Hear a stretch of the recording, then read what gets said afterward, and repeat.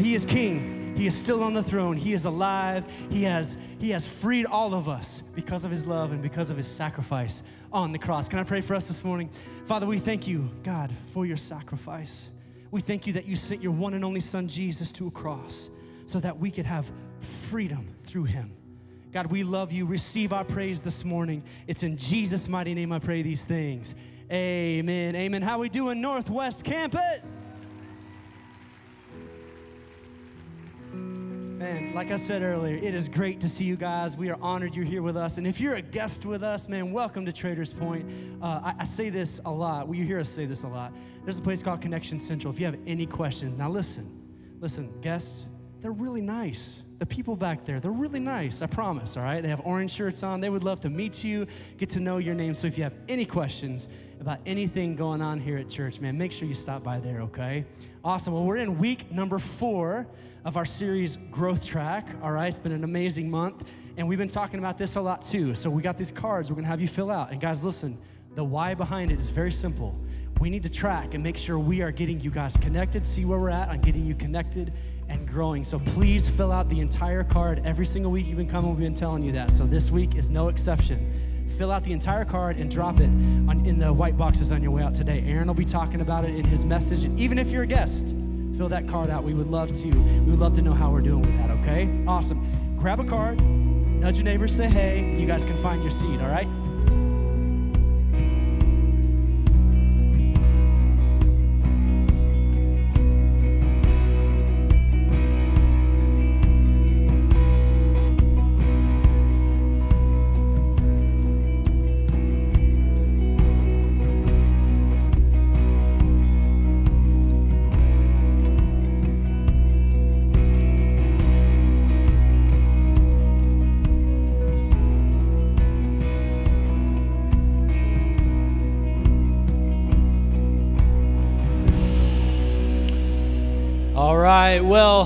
we are in our fourth and final week of this uh, series that we have been in all month long called Growth Track. And the big idea behind it is that we just want to help you uh, figure out what the next step is towards greater connection and spiritual growth. And so, right now, I just want to look right into the camera and greet all of you, whether you're joining us from our North Campus, downtown, west, online, those of you at Northwest, because you look at me on the screens anyway. Just want to say hello to all of you. It's good to have you today. And uh, as we uh, kind of roll out week number four, here's the question that I just want you to consider of yourself today. Have you ever been faced with, with something in your life that you felt totally unqualified to do? Anybody? All right, anybody like get married, don't feel qualified to be married? Like, I don't know that I have the skill set for that. You you bring a child into the world. I don't know if I have what it takes to be a parent. You start a new job. I don't know if I have what it takes. You're a new student on a new campus. You just feel unqualified to do this. You feel uh, out of your league, in over your head, whatever kind of phrase you want to use to describe. I just don't know that I have what it takes to do this thing. If that's you, and if you're honest, that should be every single one of us, then you're in good company, and that's what we want to talk about today. Uh, there have been uh, a number of uh, times in my life when I felt that way, when I just feel like unqualified for the task that's in front of me. Maybe the most memorable, though, was uh, years ago when, when uh, my wife Lindsay and I were dating. She has two younger sisters, so her middle sister uh, was a big soccer player. And it was her senior year of high school. She's getting ready to start uh, varsity soccer, and their soccer coach quit a week before the, se- the uh, season started. And so she, I was over at their house and she was complaining about it. She said, We don't have a coach, and we don't have a coach, then they're not going to have the season. And she looked at me and I, she gave me this look. You know the look? Like, say, you're stupid enough. Like, like, you, you, you, you played soccer in high school, didn't you, Aaron? And I was like, oh, no, no, no, no, no, no, no, no, no. There's a difference between playing and coaching. There's a difference between, you know, being on the field and actually being on the sidelines coaching, let alone teenage girls, all right? I just don't know what I'm doing. And I said, no, no way am I doing that. And uh, she wasn't very happy. The next day, the athletic director called me and said, hey, we got your name and number from someone. I like, I wonder who. And they said, we were wondering if you'd be willing to kind of just you know, pinch hit and step in as an interim volunteer. We, we're, we're actively searching for a full time soccer coach. We think we'll find one with just in two or three weeks. So it's just a couple weeks of practice, maybe one or two games at best. I became the girls' soccer coach that whole season long, all right? And it was like, I remember like, I was trying to decide whether or not I should do it.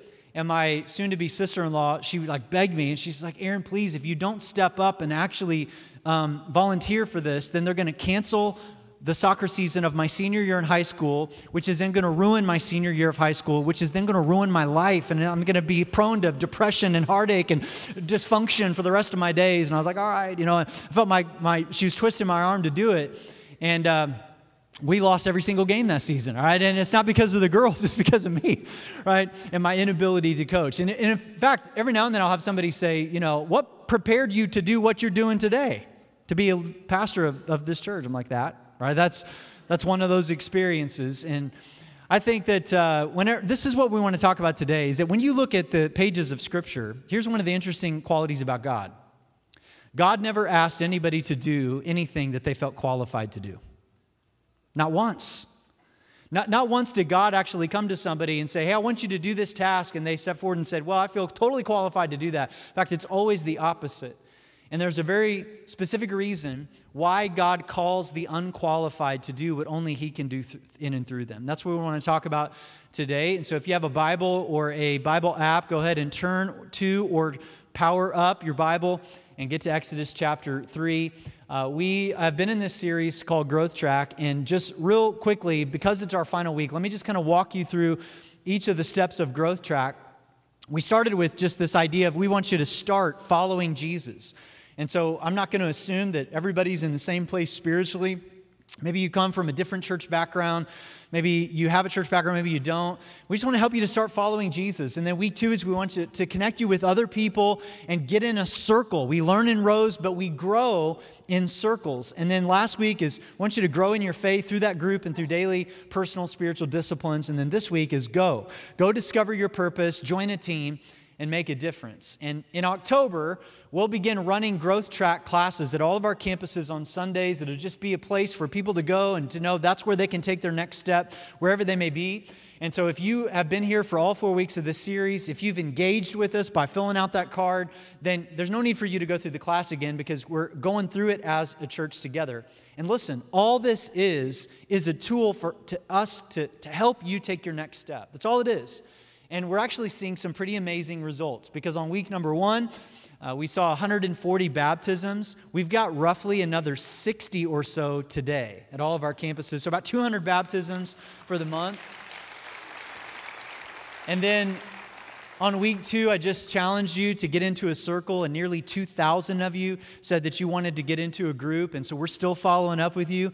A little more than half of you have been followed up with. So if you haven't yet, thank you for your patience. It takes a lot of time and energy to focus out or follow up with 2,000 people. And we're out of leaders. So last week I just said, Would you please volunteer to be trained as a leader so we can get people in groups?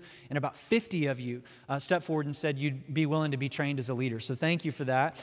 And then here's another thing to celebrate is that last week 844 of you said that you would start tithing. You said, I'm going to try the tithe. I think that's incredible. That's amazing. That many of you would trust God in that area. And now, this week, as we want to talk about um, God working in and through you to make a difference in the lives of other people. And I think that when it comes to, to serving others or when it comes to stepping forward and figuring out what our purpose is and how God might want to use us, I think that most of us um, understand the importance of it, but there's maybe a number of things that cause us to be hesitant to be used by God in that way or to maybe be a bit reluctant. And that's what we see in Exodus chapter 3 we see an, an example of a conversation uh, between God and an unlikely leader by the name of Moses. And God is asking Moses to do something that Moses was not qualified to do. And God was asking him to lead. And I think that maybe Moses' hesitation was rooted in the fact that when he thought about a leader, there was a picture that he had that came to his mind, and he didn't match that picture. And I think for many of us, when we think about leadership, there's maybe a number of you in the room. I would guess it's a smaller percentage of you that would actually see yourself as a leader. But for the vast majority of us, when you, when you think about a leader, you're like, I'm not a leader because a leader is somebody who has all the answers, or a leader is somebody who knows what to do next, or a leader is somebody that stays cool, calm, and collected under pressure. And I don't think that I'm a leader. But God's definition and description of a leader is far more easily to attain than what we may give it. God's definition of a leader is anyone who makes themselves available for God to use, anyone who steps up to make a difference. And so God comes to Moses and he says, Moses, I want to use you as a leader. And, and Moses is really hesitant because he doesn't feel qualified. And so look at this conversation. It begins in, in verse 7. It says, Then the Lord told him, I have certainly seen the oppression of my people in Egypt. He's talking about the Israelites who were enslaved in Egypt. And God says, I've heard their cries of distress because of their harsh slave drivers. Yes, I am aware of their suffering. So I have come down to rescue them from the power of the Egyptians and lead them out of Egypt into their own fertile and spacious land. So, up to this point, sounds like God's got it covered. Sounds like God knows what the problem is. Sounds like God is saying, I'm the one that's going to step up and lead them out. And he goes, It is a land flowing with milk and honey, the land where the Canaanites, the Hittites, the Amorites, the Perizzites, the Hivites, the Jebusites now live. And then he says, Look, the cry of the people of Israel has reached me, and I've seen how harshly the Egyptians abuse them. Now, here is where God's going to throw Moses a curveball.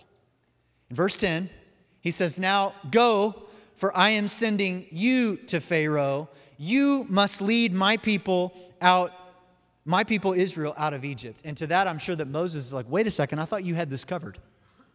You were the one that seemed like you knew what you were going to do. You were going to lead them out. Why are you involving me in this? And one of the amazing qualities about God is that God always involves imperfect people like you and me to do what he is doing in and around the world.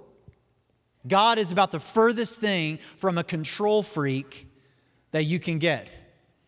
And God has every right to be a control freak. God, God could say to us, just, just move, don't make a mess.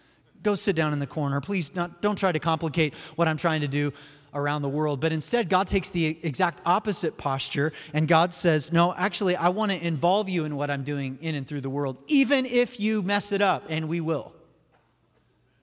God says, I want to equip you, I want to empower you, I want to do something in and through you to affect the lives of other people. I want to ask you to do something that you don't feel qualified to do. And here was Moses' response. Maybe this is your response as well. I know it's been my response at times. Moses protested to God. He argued with him. By the way, you never win. He protested to God and he said, Who am I? To appear before Pharaoh. And he says it again Who am I to lead the people of Israel out of Egypt? Do you hear what he's saying? He's saying, God, what makes you think that I can do this? I don't have the skill set. I don't have the qualifications. I don't have the degree. I don't have the experience to do what it is that you are asking me to do. And has anybody ever been in that situation. And even if you would not call yourself a follower of Jesus, you can probably relate to that, where maybe you've been faced with a responsibility, a request uh, that somebody's asking you to do, and you're like, I don't know that I have what it takes to do this. And here was God's response to Moses. God says, God answers him, He says, Well, I will be with you. Of all the things that God could have said to him, God could have said, Well, you're being too hard on yourself. Actually, you're a lot better than that. God could have said, Moses, man, you, you've been given so many gifts and you just need to leverage those. No, God doesn't say any of that. God says, I will be with you. In other words, here's what God's saying God is saying, What makes you think this has anything to do with you? What, what makes you think that, that you are actually the X factor in all of this? Moses, you're actually, this actually looks like humility, Moses. This actually rooted in the same thing that our pride comes out of. You're thinking about yourself too much. It isn't about what you can do, it's about what I can do through you.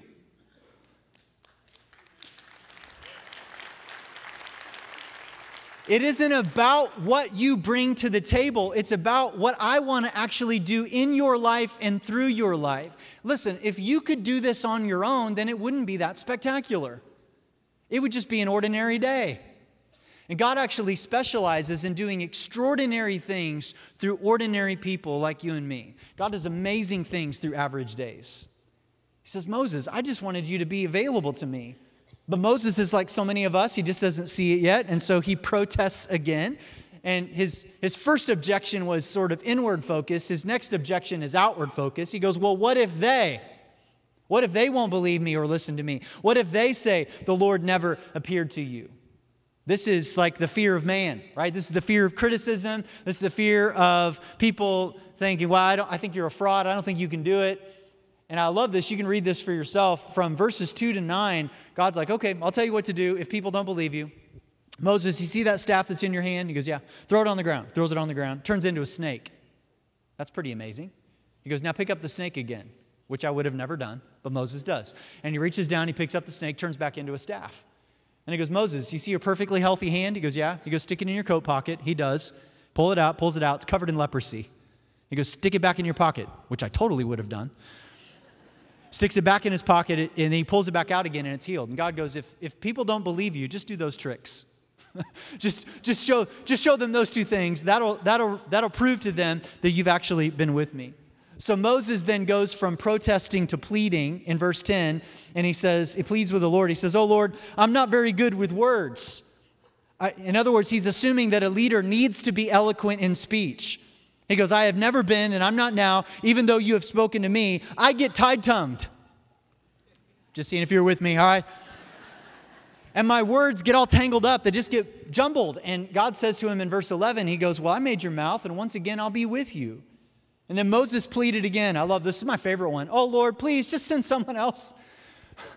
I don't want to do it. I'm out of excuses, and so I just don't want to do it. And then God's response to him is He says, Well, you don't need to go alone. You actually have a brother. His name is Aaron. And Aaron is actually gifted in ways that you are not. And you're gifted in ways that Aaron isn't. And so, why don't you guys come together as a, as a team, as, as partners, and why don't you go together? And Moses, to his credit, he obeys God and he goes and he walks up to Pharaoh and he says, Let my people go. God uses him in incredible ways, and it wasn't an easy road, but God actually takes Moses' availability and he does something really extraordinary in and through him. God was asking Moses to be a leader, and Moses just didn't see it. And I actually think that's one of the greatest qualifications for his leadership, is that he didn't see it.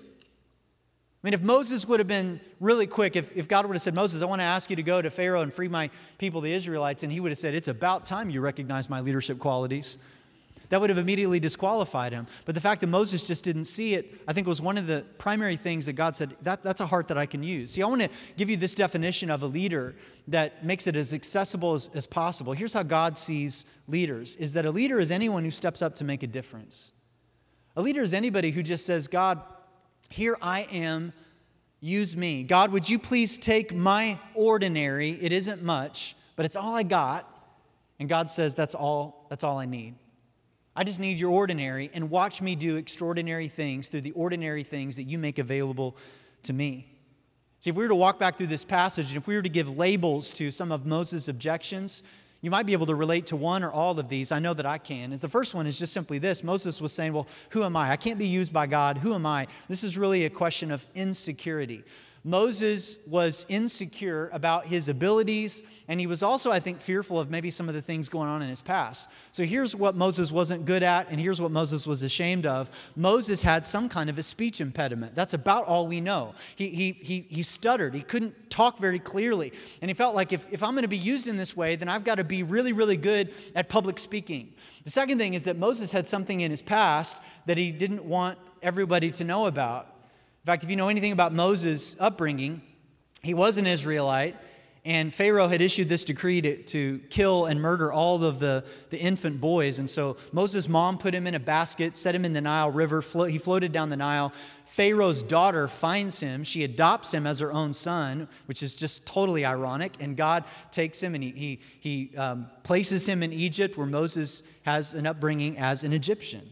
But when he becomes older, he realizes his history. He realizes who he is. And he sees an Israelite, somebody that is of his people, being mistreated by an Egyptian, and Moses loses it. He's got a temper. If you remember the first time he came down Mount Sinai with the stone tablets and he saw what the people were doing, worshiping the golden calf, what did he do? He threw them down and they shattered. It's like, sorry, God, I know you worked hard on those. Like, he messed it up, right? The same temper caused him to actually murder this Egyptian, and Moses is ashamed of it. He goes, God, who am I? Man, people are going to find out about that. That disqualifies me. I'm not very good at what I do. And my guess is that maybe for you, the thing that's actually causing you to be hesitant to actually discover your purpose or what it is that God has called you to do is you focus on what you're not good at and maybe you focus on your past failures. And you disqualify yourself before God can ever use you. And God actually specializes in taking what you're not good at and working in and through that so that actually it shows you and others the power of God. When I look at what I'm doing today, it is laughable to me. Because I grew up hating public speaking. Don't tell me God doesn't have a sense of humor. He laughs at me every single week. And when I say I hated public speaking, like I'm saying that my youth pastor used to drag me up in front of the youth group just to force me to pray in front of the group. I didn't want to do it. I got literally got C's and D's in my high school speech classes. I hated public speaking. And in fact, uh, periodically people say, Do you get nervous ever before you speak? And I'm like, Every single time because this isn't like I just had like this natural ability to do this and whoa, let, you know, I could be a car salesman or a preacher. I'll just, you know, I'll just go do this. No, God actually says, hey, where are you weak? And actually, hey, let's focus on that. You want to know how scripture says it? It says this in 2 Corinthians chapter 12, verse 9. It says, My grace is all you need, for my power works best in weakness. Did you hear that? My power works, whatever you think you're weak in, God says, good. Let's, let's focus on that. Because my power works best in weakness. So now I am glad to boast about my weaknesses so that the power of Christ can work through me. Listen, God will put you in a situation where you have to face your insecurities so that you can feel the power of his presence all the more. Well, the next objection that Moses has is he says, Well, what if they? And this is an issue of fear. He's like, Well, what if, what will people think? What if they criticize me? What if they talk behind my back? And I know that maybe some of us, we never step up to, to do, to make ourselves available because we're fearful that we might get criticized or we might face some kind of resistance. But that's just that just comes with the territory. Dr. Samuel Chand in his book Leadership Pain, which is a book I highly recommend, he says this. He says, All leadership is a magnet for pain, which comes in many forms. We catch flack for bad decisions because people blame us, and we get criticism even for good decisions because we've changed the status quo. When people suffer a crisis, we care deeply for them instead of giving them simplistic answers. We carry their burden, which means at least some of the weight of their loss and heartache falls on us. We suffer when our plans don't materialize or our efforts fail. And we face unexpected new challenges when our plans succeed and we experience a spurt of growth. Along the way, we aren't immune to the ravages of betrayal by those we trusted, then the envy of our friends, and burnout because we're simply exhausted from all the struggles of leading people. And Dr. Chand actually says in that book, he goes, If you want to lead effectively, then just increase your threshold of pain, because if you're not in pain, you're not leading. And some of us, maybe there was a time in your life when you actually said, No, I, I Aaron, I remember, I remember I, I, served, I served one time in church, or maybe I stepped up and I took a risk and I got hurt. I got burned. I got criticized. And you know what? Never again. And maybe for some of you, you went limping off of the field and you sat down on the bench and you've never gotten back in the game because you got hurt. And it happens a lot in the church. remember years ago when I was contemplating going into ministry, I was talking to a mentor of mine. And I was like, yeah, I feel like God's leading me into full time ministry. I was full of optimism. I was all excited. And he looked at me and he goes, man, I think that's great. He goes, but Aaron, you're going to need, you're going to need to ask for three things if you're going to go the distance. And I was like, what are they? And he goes, you're going to need to develop the courage of a lion because you're going to have to make difficult decisions at times. It's going to, and you're, you're not going to have all the information. You got to be courageous. But you've also got to develop the skin of a rhino because people are going to shoot at you. And then you've got to develop the heart of a teddy bear I was like, What are you talking about? And he goes, You got to keep your heart soft towards people. You got to have the courage of a lion. You got to develop the skin of a rhino. And you got to develop the heart of a teddy bear. Why?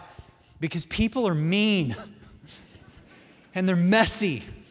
And if anybody steps up to say, hey, I'll be used of God in a significant way, if you are willing to take that risk, then you're actually placing yourself in oncoming traffic. And God says, no, no, no, I need, I need you to be courageous, but I also need you to develop a thick skin because you're going to take lots and lots of arrows. Moses certainly did. But don't let the wounds that are inflicted from others cause you to grow bitter and cynical towards others. Keep a soft heart. Moses' next objection was just simply this one. He goes, Well, I have never. I've never done this, God. I, I don't know what I'm doing. I'm in over my head. And this is an issue of inadequacy. And once again, God will often ask you to do something that you've never done or you don't think that you're very good at to keep you dependent up only upon what He can do. You know, uh, 11 years ago, I was 31 years old and uh, I, I, was facing the uh, opportunity to maybe come and serve this church as as a pastor. And I remember Lindsay and I were praying through it. And I was trying to seek lots and lots of counsel. I was 31 years old at the time, and um, the pastor who served here before me, uh, his name is Howard Brammer. He served here for 24 years, and he was a wonderful man, did an incredible job. And I was always, we can give him, give it up for Howard.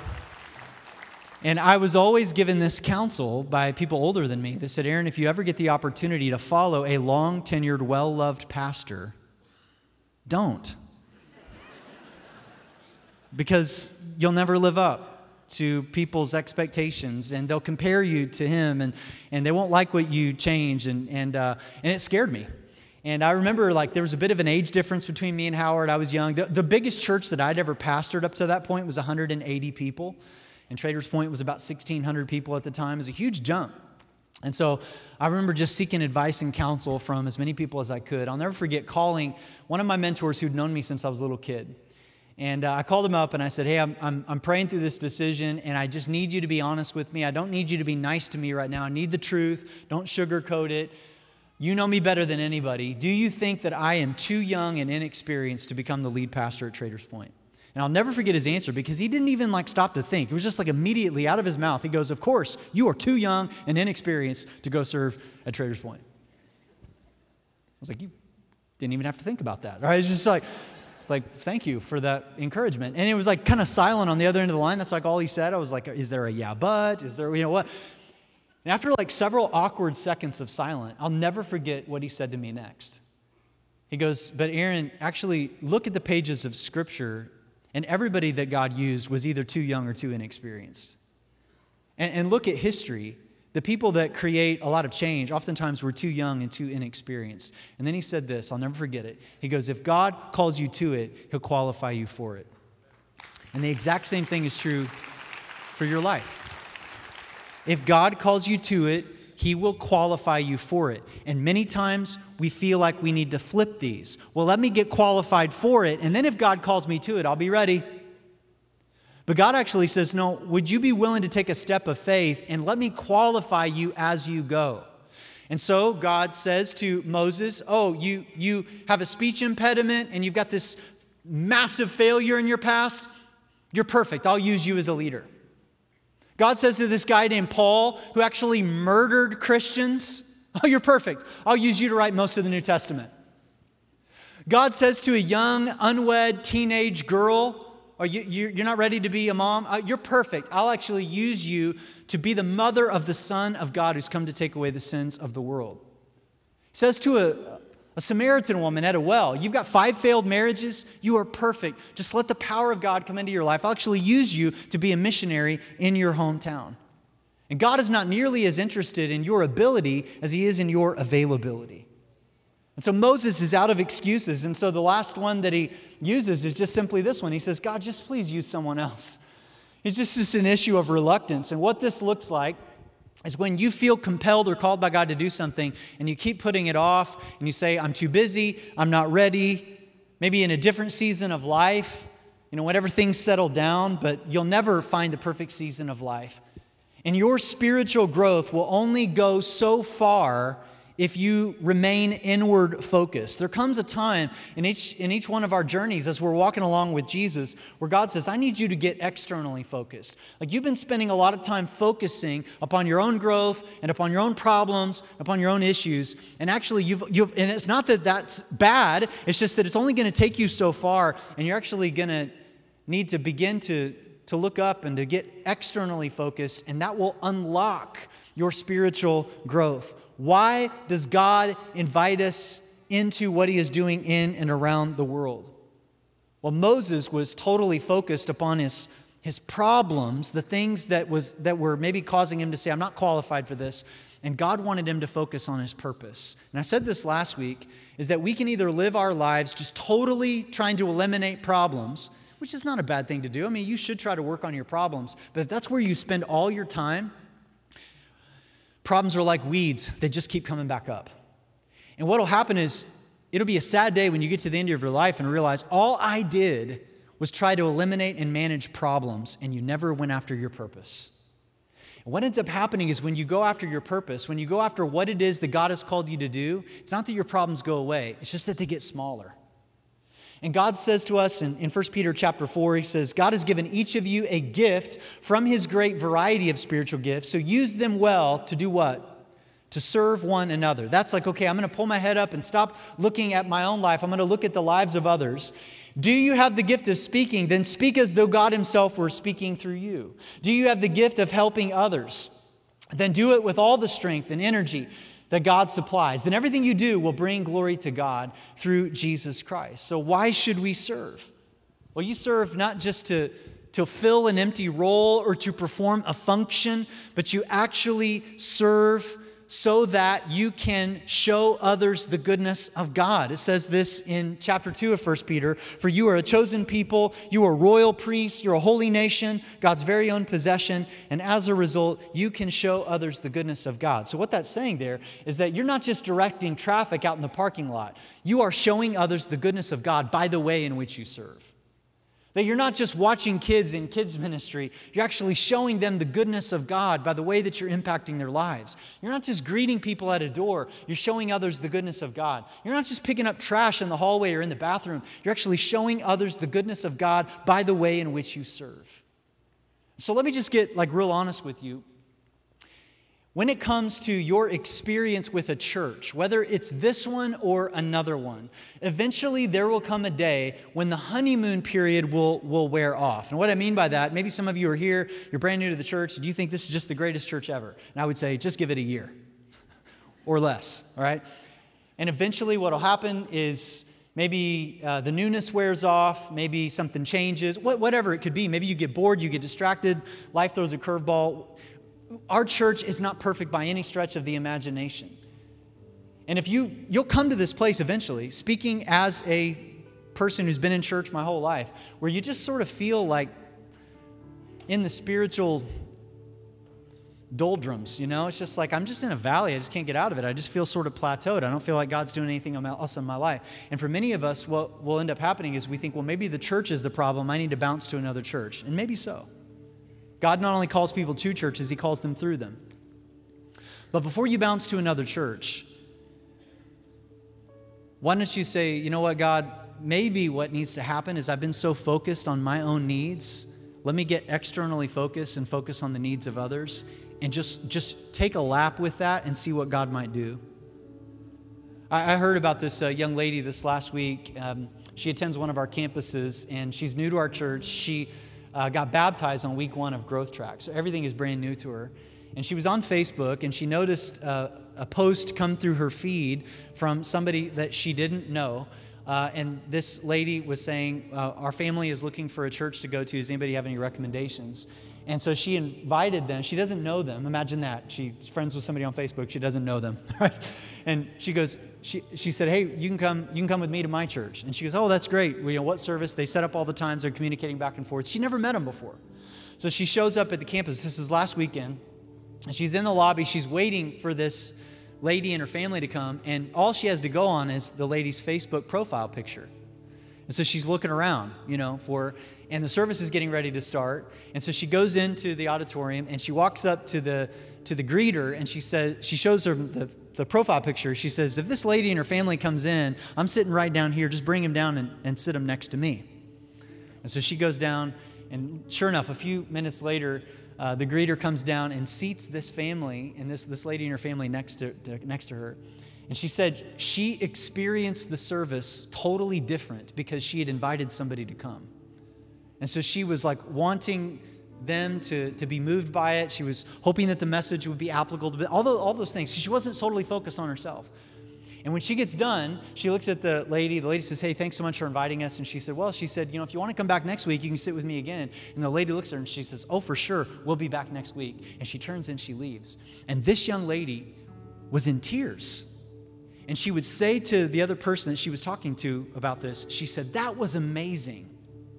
That experience changed the way that I see church. And what was happening is that she was she was actually making herself available for God to use. See, so there, there's something that can happen in all of our lives when, when you don't make yourself available for God to use you, if you just kind of attend church, after a while, what ends up happening is you become a churched person.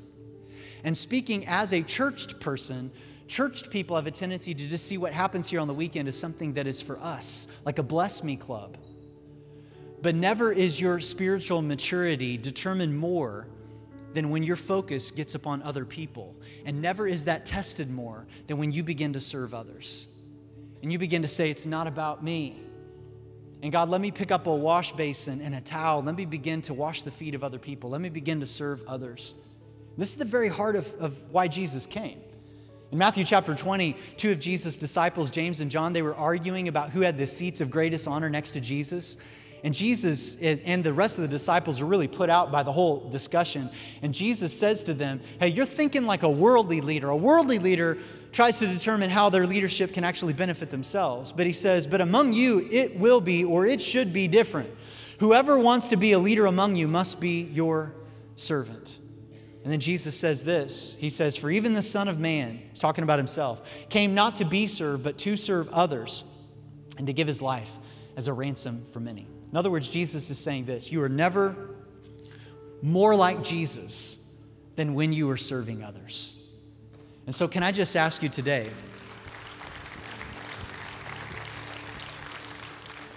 Is there something that God is asking you to do, and a lot like Moses, you are hesitant because of your inability or your failures? And God would just simply say, Man, you're perfect because I can actually do extraordinary things through your ordinary. And would you be willing just to step up and to serve him? And we want to just help you with that. On the card, there's a way, there's three big areas for you to serve in: connections, kids and students ministry, and worship arts. Is that the only way that you can serve around here? No. Those are three big areas that I would direct you to.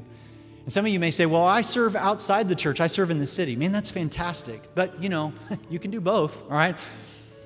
And God may say, listen, I want to just ask you to to be willing and available today to do what only I can do in and through you.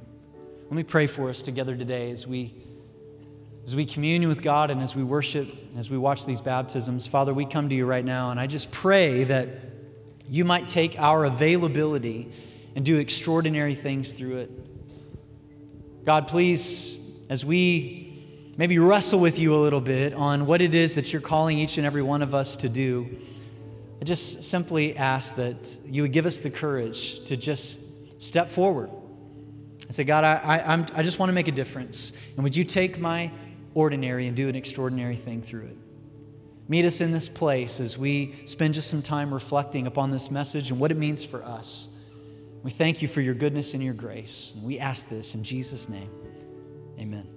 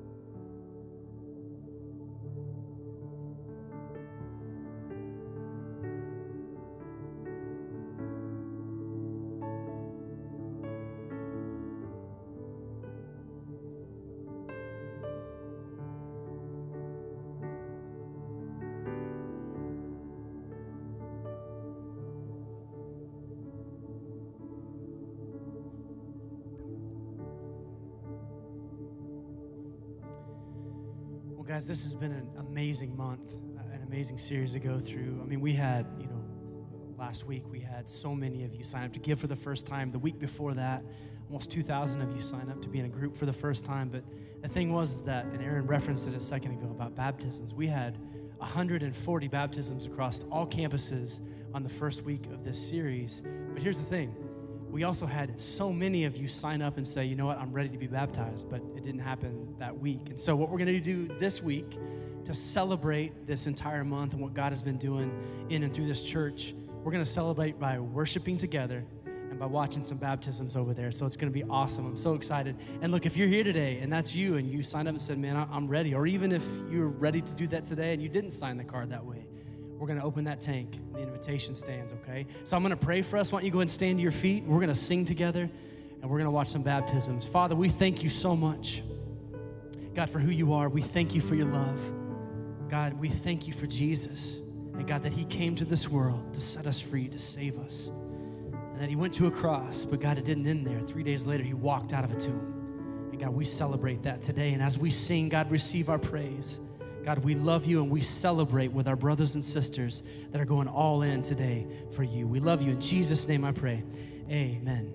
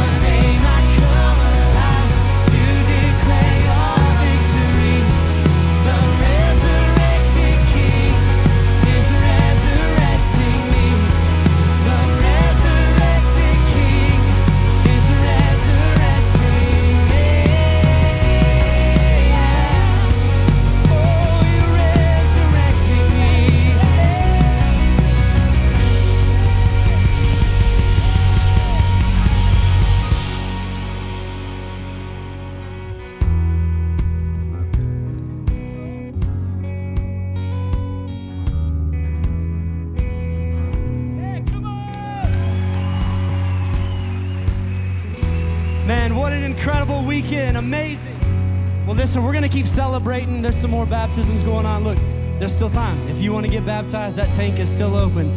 Feel free to walk on out those doors right there, okay? Well, awesome. Hey, listen, before you go, just a quick reminder for you make sure you fill out the cards, drop them in the white boxes on your way out today, okay? And one last thing, all right? If you are a student or you have a student, on September 8th, that is our fall kickoff. All campuses right here. It's going to be one big party, y'all, okay? Awesome. Have a great week. We'll see you guys next weekend. your spirit. I